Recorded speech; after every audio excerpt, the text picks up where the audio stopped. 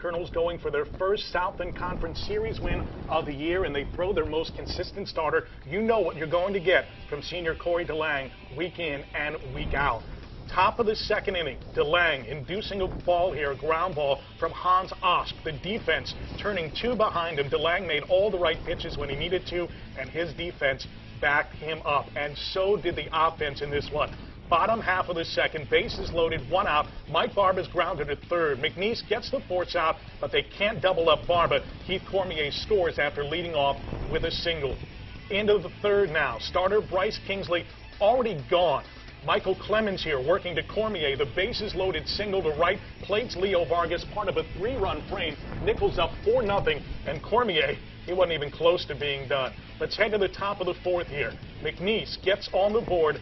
Osk back at bat, dumps Delange's offering into right. The two-out hit scores Jackson Gooch, who led off with a double. The Pokes are down 4 to 1.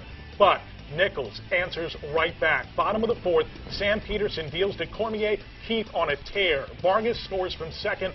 Cormier goes three for five, two runs batted in. He also scored a run and stole a base. Into the seventh, Cody Dufran coming up to bat here for Nicholls, and he unloads on Peterson. The double into the left field corner chases in David Zorn, the 30th RBI of the year for Dufran. He reached base four times in this one. Nicholls up six to one. Delange going the distance. He gets Philip LeBlue here on the 3-2 fastball in the ninth. He surrendered two runs on nine hits with a walk and seven strikeouts as the Colonels clinch the series with a 9-2 victory. A Southland Series win had eluded you all season. This the Colonels left no doubt about. No, Kory Delange was fantastic, and Cormier, of course, was lighting it up again at the plate. And we played really good baseball. We had a great crowd. We had a, you know, the day was beautiful, beautiful weather. It was just a great time.